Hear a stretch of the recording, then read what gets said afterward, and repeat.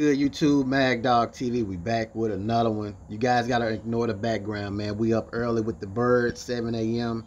Let's get this hard work, man. But Coach Sapp speaks about this upcoming season. He also was brutally honest about last season as far as not being able to stop the run.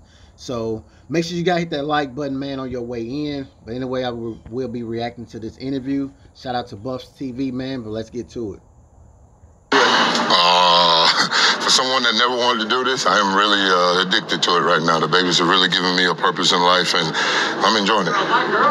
Seems like they've taken a liking to you as well, and, and just enjoy working with you on a daily basis. How much have you seen kind of their energy change from maybe when you were a guest last year, just kind of seeing how things have shifted in about a year? The best thing I wasn't really around here last year, except for the first game and then the USC game. So I, I won't even compare anything to last year. I just love their energy, their willingness to come and work and learn and take it from the classroom out to the practice field and the drills we're doing. Know, I tell them, you, you show me how you love this by the way you work. And I'm a fun guy, I think, but I do get them to work. So we, we they meet me more than halfway, so that's all I ask. A lot of college offenses look different than when you played in college. Is playing D line any different now than it was when you were in college? No, one three five never changed.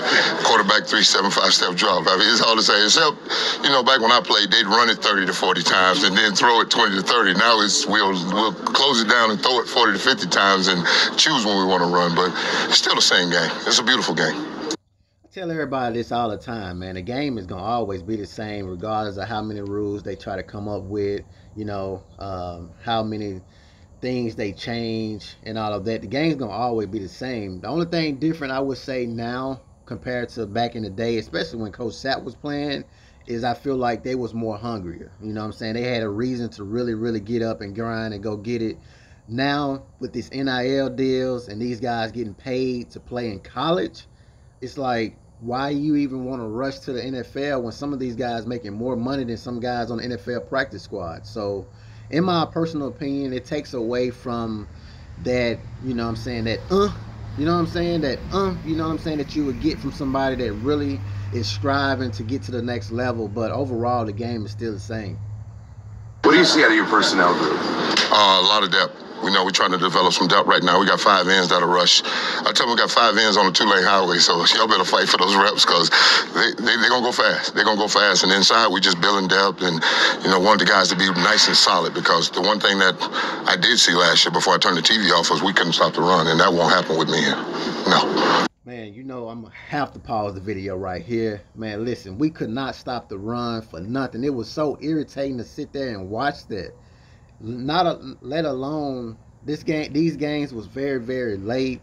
You know what I'm saying? And to see these guys not being able to stop the run, not being able to stop the slant route, not being able to stop the crossing routes, the same stuff was absolutely just painful to watch, man. And then I had to give you guys my recap after the game 1, 2 a.m. in the morning speaking about the same stuff every day, man, every week.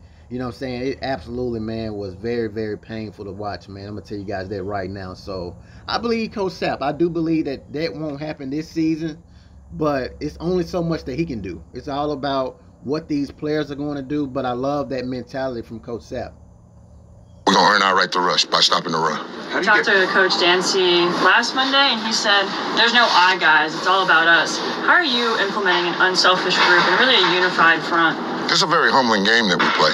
And if you think you can do this all by yourself, I tell them I got a gold jacket and I'll rip it up and tear it up, to have 10 other guys come fight with me because me out on that field is just one guy. And you're just one guy. So we need a unit and a pack to go hunt. And when you pack, a bunch of wild dogs show up in your neighborhood, nobody's coming outside. And that's what I'm telling them. We gonna show up like a bunch of wild dogs to the stadium and we gonna hunt. The table is set, let's eat. Coach, I imagine that saying you want to improve in the run game is easier said than done. How do you go about doing that? on a day in day basis. Day out, day in basis. We're gonna pull concrete. We're gonna make sure we fundamentally sound in our gaps and our hands and our feet and trust in our eyes. That's the most beautiful thing that you, with the D line position. Offensive lineman don't lie. Biggest lie you get told is a flash trap. And I promise you, that's just one. You guys are taking practice down to Denver on Friday. What do you think the benefits of that practice will be? Well, we're gonna turn the lights on. You know, some of our guys have never been inside the lights, and you know, you turn those lights off. You know, and I know Boulder gonna be good and liquored up for Thursday night. We kick this thing off, so it's gonna be nice and loud, and you know, we our defense is gonna have to be out there loud, and we're gonna need to communicate, and that's what we're gonna simulate that Friday night. Warren, Warren Sapp could do. Warren Sapp could do Next anything. question. Um, who in your room specifically, individually, has stood out the most? I wouldn't single out one guy because we're a pack. You know, my five my five ends on the two lane highway. That's that's nice and good. And then with the, the last two tackles with Buell and uh, the young fella, we'll be six deep.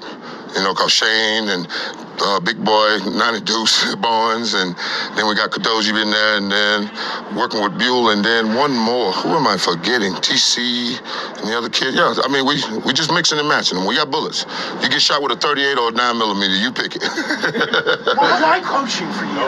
Why coaching? What have you learned? A lot of the guys Lewis and working with him. What have you learned from him about coaching? One more time. What have you learned from Coach Lewis just working with him? Oh, him about coaching. From the from the beginning, you know, he came behind me at Miami, so he's one of those guys that was the next baby Sapp. So, you know, he's been trying to beat me his whole life. So now we're putting it together and see if we can turn them into something that's better than both of us. So we have a great push-pull relationship.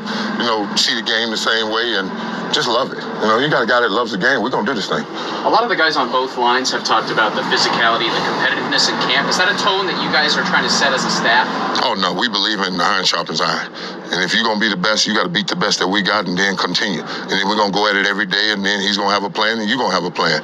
Like Mike Tyson said, we all got a plan until you get punched in the mouth, and that's what that practice is for to get us ready for this 12 game season, and we'll be ready. Well, then, no. That's all I be trying to tell you guys, man. Iron sharpens iron. You know what I'm saying? What these guys do in practice is going to translate over to the game, man. It's very simple. It's just like life. The more you practice at something, the better you're going to get. You know what I'm saying? So you know, uh, with these guys competing, you know what I'm saying, especially with, within the trenches, you guys seeing the offensive line putting in a lot of hard work, the defensive line putting in a lot of hard work. You see Khalil Benson going at it with Dayon Hayes. You know what I'm saying? This right here is going to pan out. You know what I'm saying? And so I really, really feel good about this season. As I said before, I have high expectations. Last season was a sense of hope.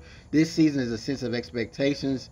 So we're just going to have to wait and see that you that you gained as a player did that come flooding back kind of like riding a bike once you got back on the grass or did that no coaching's a whole different thing.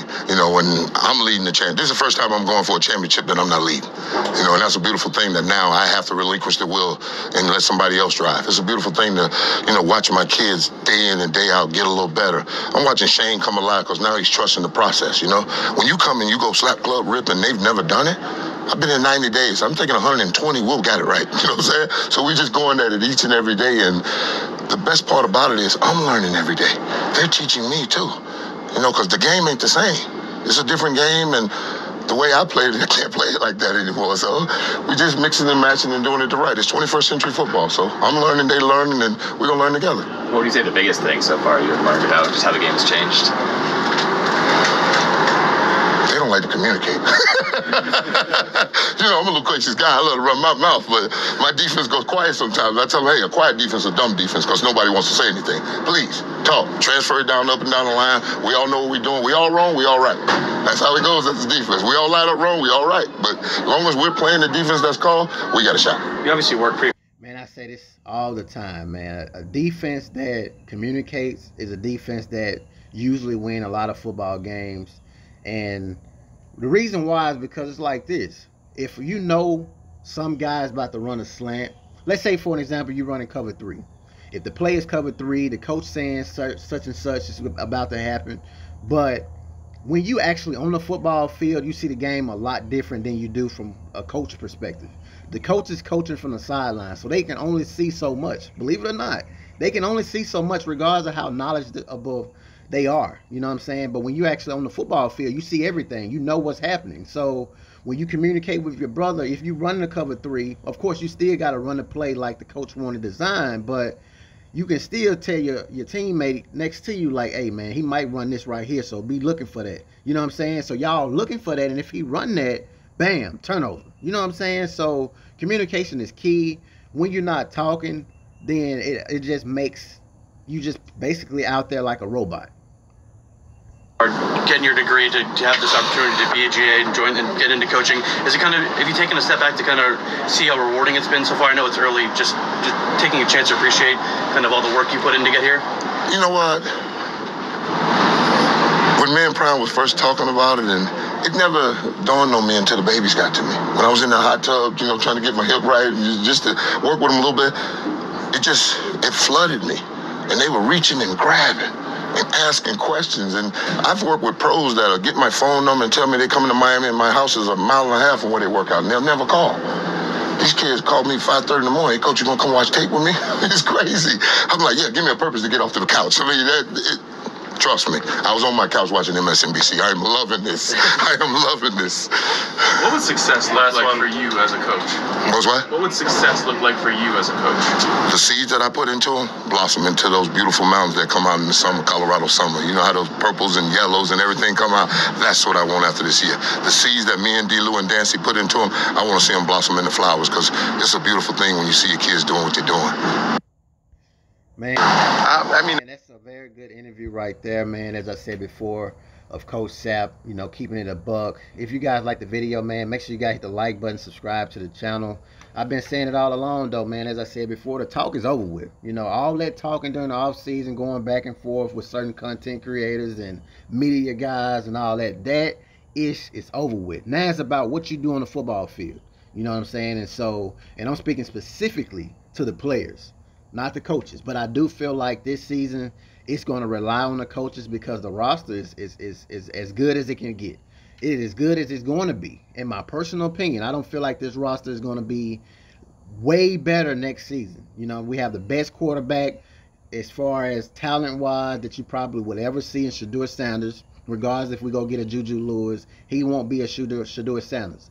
You know, the best two way star in Travis Hunter that you will ever see ever again. You know what I'm saying? The offensive line has improved, the defensive line has improved. We have positional coaches that are just, I mean, great, great coaches. It's all going to rely on the coaches. You know what I'm saying? And so, drop in the comments and let me know if you guys agree or disagree. Hit that like button, man. Make sure you guys hit that like button. You know what I'm saying? Subscribe to the channel. And uh, until next time.